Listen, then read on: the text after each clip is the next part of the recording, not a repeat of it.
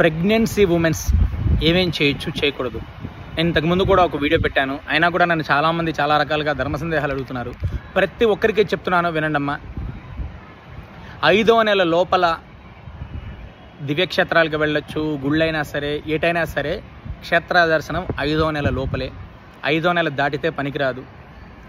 మన ఇంటి పేరు ఉన్నవారు కానీ దగ్గర బంధువులు కానీ ఎవరైనా మరణించినప్పుడు వెళ్ళి చూసి రావచ్చు.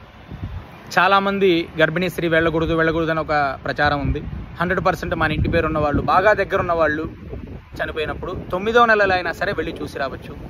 సీమంతం ఐదో నెల కానీ ఏడో నెల కానీ తొమ్మిదో నెల కానీ చేస్తారు.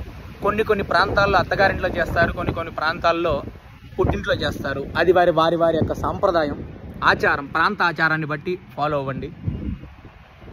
అలాగే భార్య గర్భిణిగా ఉన్నప్పుడు మగవారు క్షవరం ఐదో నెల తర్వాత నుంచి క్షవరం చేసుకోవడం పనికిరాదు. ఐదో నెల తర్వాత నుంచి క్షవరం చేయడం చేసుకోవడం పనికిరాదు. అలాగే దగ్గరలో ఉన్న దేవాలయాలకు వెళ్ళొచ్చు. తొమ్మిదో నెల రేపు డెలివరీ అనగా కూడా ఈరోజు చాలామంది దగ్గరలో ఉన్న దేవాలయాలకు వెళ్ళి నమస్కారం చేసుకుని వస్తారు వెళ్ళొచ్చు. క్షేత్ర దర్శనాలు పనికిరాదు. క్షేత్ర దర్శనాలు పనికిరాదు. వివాహాలకు వెళ్ళొచ్చు ఐదో నెల లోపల. గృహప్రవేశాలు చేస్తున్నప్పుడు అక్కడ గుమ్మడికాయ కొట్టేటప్పుడు ఉండకూడదు.